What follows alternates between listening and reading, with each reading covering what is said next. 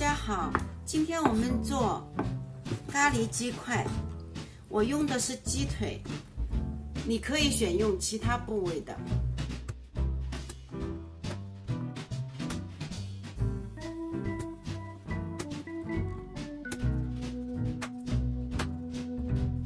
切鸡块好，一倒下去要干干脆脆。切好后呢，最好水里淋一下，把碎骨头冲掉。家里有小孩、老人的特别要小心，吃进鸡骨头哈，问题可大可小的。土豆切成小小的滚刀块。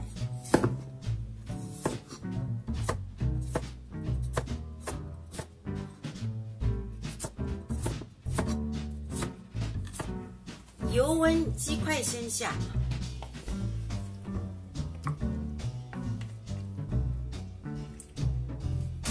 这样煸炒到鸡肉变色，我们就下一点料酒，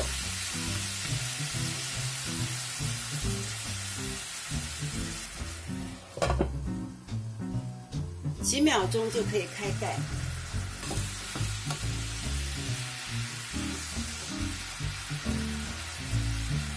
下土豆，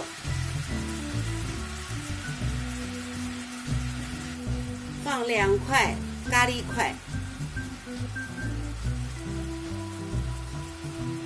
就这样放在上面，不要去动它。我们盖一块盖子，让它软化。我用的是这种咖喱块，它上面有标明辣的，或者是不辣的，还有中性的。差不多两三分钟这样，咖喱块就软化了。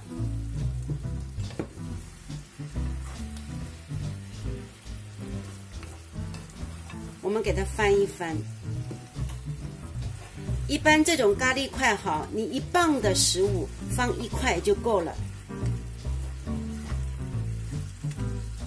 接下来我就是以奶代水。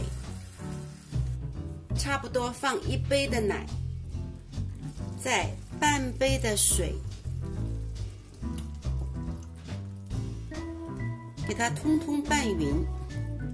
然后我们盖上盖子，用小火给它焖煮十五分钟朝上，直到土豆酥烂。中途我们可以打开锅盖，翻动一下。以防它粘底。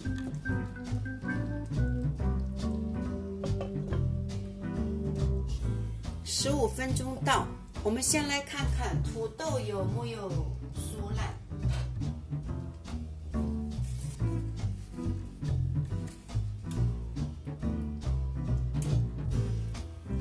行了，准备起锅，什么都不需要放了。因为咖喱里面有很多香料和足够的盐分。装盘后，你可以做的是撒些葱花或者香菜。好了，今天这个视频就到这里，我们下次再见，拜拜。全部过下来，一眼也不要浪费。